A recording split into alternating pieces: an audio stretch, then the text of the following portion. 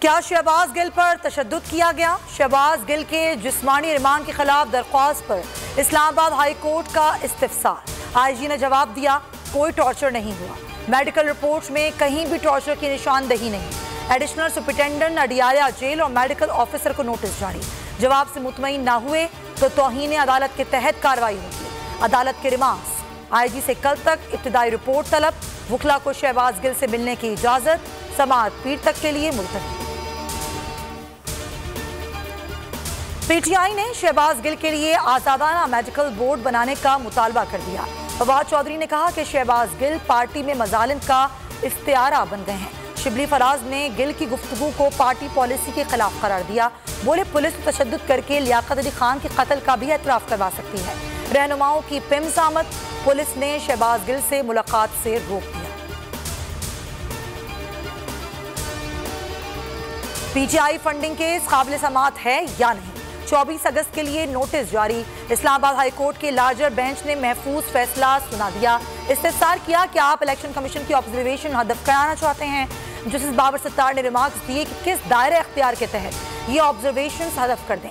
Justice عامر فاروق نے کہا کہ قانون میں لکھا ہے، صرف انفرادی فنڈز لینے ہیں، صرف کے لفظ کو کیسے نظر انداز کریں گے؟ کل تک درامداد کے فوائد گنوانے والے آئی ایم ایف کے سامنے لیٹ گئے۔ لگژری آئٹمز کی امپورٹ پر پابندی ہٹانے کا اعلان۔ بھاری ڈیوٹیز ادا کرنی پڑیں گی۔ حکومت نے منی بجٹ پیش کر دیا۔ وزیر خزانہ مفتاح اسماعیل بولے، بڑی گاڑیوں پر ڈیوٹیز لگا دیں گے۔ تمباکو پر ٹیکس دس سے بڑھا کر تین سو اسی روپے فی کلو کر دیا۔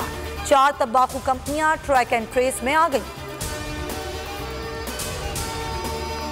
کراچی میں بادلوں کا جان لیوا اسپیل ملی ندی میں کار ڈوب گئی۔ لاپتہ چھ افراد کی تلاش جاری۔ ایک بچے کی لاش مل گئی۔ گجر نالے سے چودہ سالہ لڑکے کی لاش برآمد۔ شہر بے بسی کی تصویر بن گیا۔ جگہ جگہ پانی جمع سڑکیں ٹوٹ پھوٹ کا شکار۔ گہرے گڑھے ٹریفک کی روانی شدید متاثر۔ کرنگی جانے کا واحد راستہ جام صادق پل۔ تحریک انصاف نے کل کا جلسہ موخر کر دیا۔ نئے شیڈیول کا اعلان، بعد جلد کیا جائے گا۔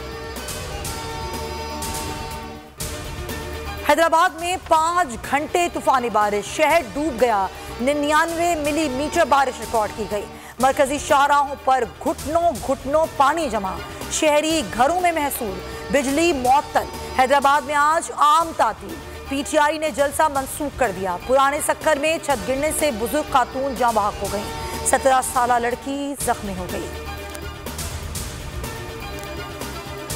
کے پی میں بارشیں، چوبیس گھنٹے میں تین افراد جاں بحق مختلف حادثات میں تیرہ زخمی۔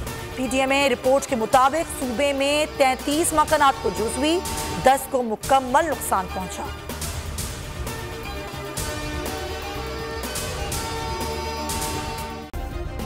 سبسکرائب کریں اور بیل دبائیں تاکہ کوئی خبر رہ نہ جائے۔